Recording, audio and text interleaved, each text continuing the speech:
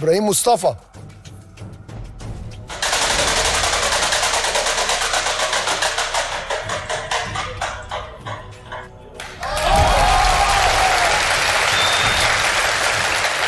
إيه رأيكم؟ رياضة. رياضة. رياضة. تمام. سؤال ب 20 نقطة ولا ب 30 نقطة؟ 20 20 20 نقطة. لو الإجابة صح ألف مبروك. أول ثلاث نقاط لجامعة أسيوط. لو الإجابة غلط فرصتكم تجاوبوا وتجاوبوا السؤال الأخير تكسبوا أول ثلاث نقاط وتفجروا مفاجأة من العيار التقيل. رياضة. والسؤال هو لاعب إماراتي صاحب أسرع هدف في تاريخ كأس أمم آسيا لكرة القدم حتى عام 2021 فمن هو؟ بعد 14 ثانية.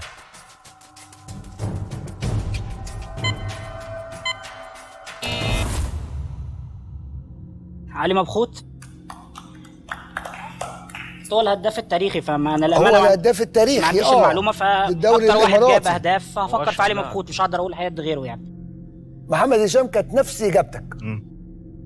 البدري إجابة صحيحة. كانت ضد البحرين والإمارات كسبت 2-1 أمم آسيا 2015 بأستراليا. ألف مبروك لجامعة أسيوط أول ثلاث نقاط. الحمد لله. ألف مبروك.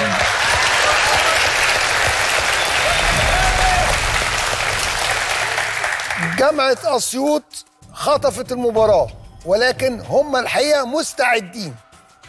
عندهم خبرة وعرفوا يتعاملوا مع المباراة بذكاء. جامعة سويس هارد لك ولكن لسه الأمل موجود. اكتساب الخبرة من المباراة الأولى مهم جدا جدا. تمنياتي بالتوفيق لفريق السويس.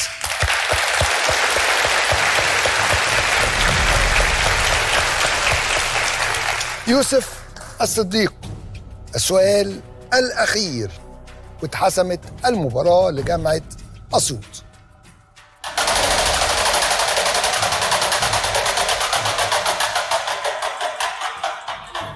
معلومات عامة. سؤال ب 20 نقطة معلومات عامة. والسؤال هو شاعر وعالم فلك فارسي ساهم في تطوير التقويم الهجري الشمسي. فمن هو؟ في القرن الحداشر الميلادي. التقويم الحديث هو الرسمي لإيران من 1925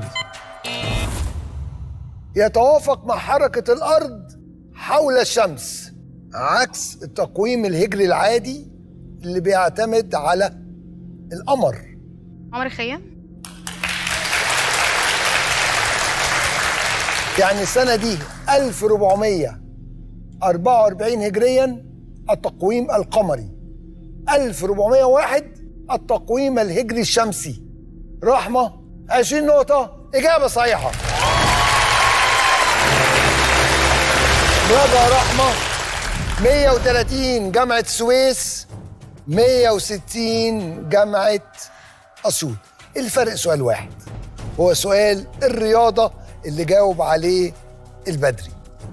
هارد لك فعلا لجامعة السويس وألف مبروك أول ثلاث نقاط أسيوط. لله.